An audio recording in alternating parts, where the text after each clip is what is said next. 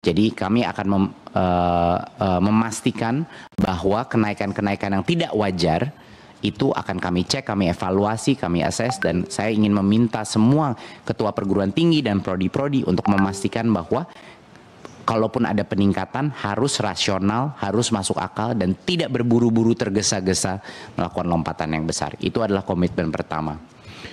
Yang kedua adalah dan ini komitmen bersama bukan hanya Kemendikbud tapi juga uh, Komisi 10. Harapan saya ini menjadi komitmen bersama bahwa dengan adanya kebijakan ini, ini mendorong baik Komisi 10 maupun juga Kemdikbudristek untuk berjuang untuk meningkatkan KIPK untuk mahasiswa-mahasiswa yang dari tingkat ekonomi yang sangat membutuhkan.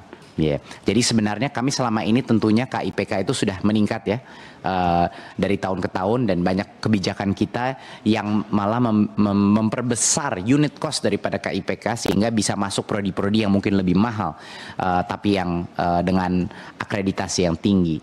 Kami akan terus berjuang untuk ini dan berjuang untuk meningkatkan total jumlah KIPK karena memang uh, Bapak Ibu situasi yang paling ideal yang terbaik adalah tangga UKT dilaksanakan sehingga yang mampu membayar lebih banyak, yang tidak mampu membayar lebih sedikit.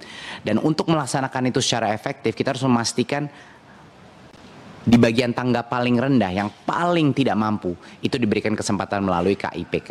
Jadi komitmen kami adalah untuk berjuang ke kementerian-kementerian lain dan uh, uh, kepada uh, dan harapan kami Komisi 10 bergabung dengan kita untuk berjuang untuk meningkatkan anggaran KIPK sehingga kita memastikan bahwa uh, yang tidak mampu masih bisa mengikuti uh, perguruan tinggi. Uh, itu mungkin beberapa uh, poin besar yang uh, uh, ingin uh, kami utarakan.